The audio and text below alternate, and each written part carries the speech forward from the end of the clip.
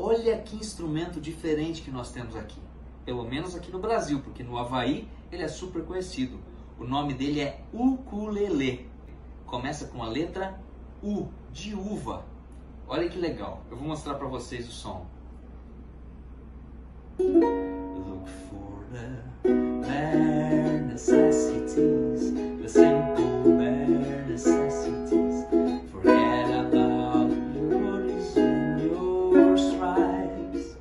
I'm in the bare necessities. That's why peace. The simple bare necessities of life. Queria cantar com vocês uma música super legal chamada. Alecrim,